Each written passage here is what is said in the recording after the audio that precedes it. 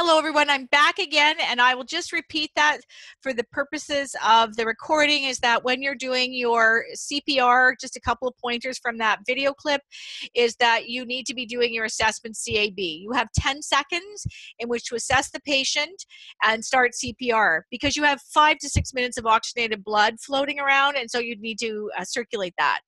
You need to use the, the heel of your hand to actually compress the heart and allow for recoil. So, and to do it at about 100 to 120 beats per minute. Um, putting on the AED pads, you can put the pads on whilst the compressor's still going on. I was concerned that there was no CPR going on for over 10 seconds. So um, you want to make sure that while the person is putting on the pads that compressions go on, although during analysis you need to stand clear and stand back.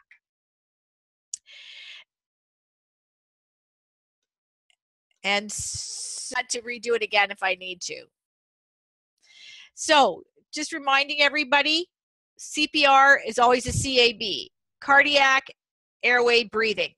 You always want to start your compressions uh, as soon as possible because you want to maintain adequate circulation with the, the five to six minutes of oxygen. Respiratory arrest, the respiratory arrest, eh, eh, especially in view of our opioid crisis nowadays, that you want to um, make sure that uh, again, I, I'm not advocating that we do mouth to mouth, but that it would be a consideration if that was your younger sibling or your brother or sister, you may consider doing CPR. So, with a with a, a respiratory rest, you'll see this in the hospital you may just want to if the patient is becoming bradypneic you may want to put in an oral airway and bag the patient um, once every six six seconds or 10 times per minute rescue breathing is 10 to 12 times per minute I just want to see what other things I wanted to address. Oh, C spine precautions. I C spine precautions, and I I just wanted to C-spine precautions, and we talked about a little bit earlier in the semester. Uh, C-spine precautions are to be initiated when anybody has an injury from the shoulders up to the head. And so C-spine precautions require five people, although the video I had for you showed three.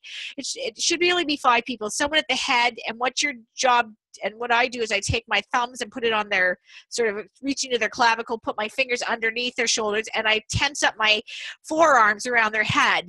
And on, I would be the one to leverage. I'd be the one to count, and on my count, one, two, three, we're going to turn, and I'm keeping the head in an immobilized position. Anybody that's fallen, I had somebody faint and hit their head, I'm going to do C spine precautions. Um, I one so uh, the other thing we've talked a little bit about neuro around seizure precautions. If somebody's experienced a seizure nothing goes in their mouth. You can uh, reposition them in the recovery position once the seizure's over. Um, always timing the seizure. I want to know how long it's lasting how long that tensing and relaxing or that tonic clonic uh, action is occurring. So i would time it. Anything that's starting to get more than 30 to 45 seconds i want to call 911 um, because this may be going on for quite a prolonged period of time and they're not getting oxygen.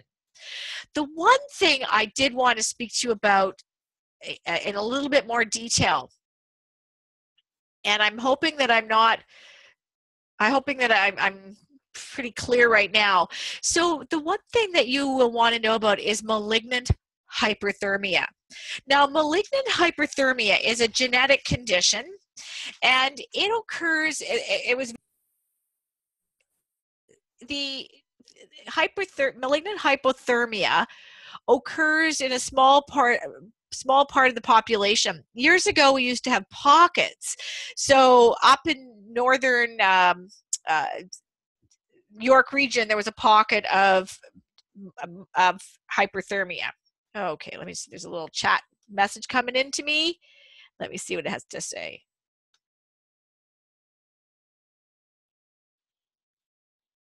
Okay.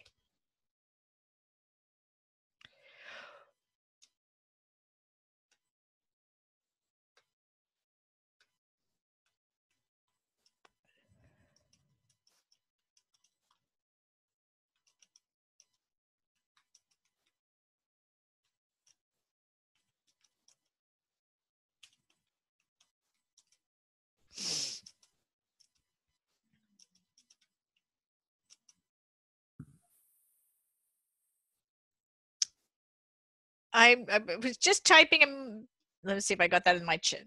Ah, did I get it?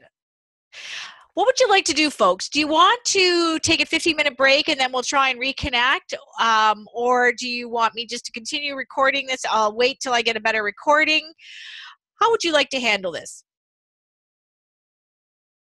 I, I'm I'm open to suggestions. Do you want to take a 15 minute break and come back at 10 o'clock?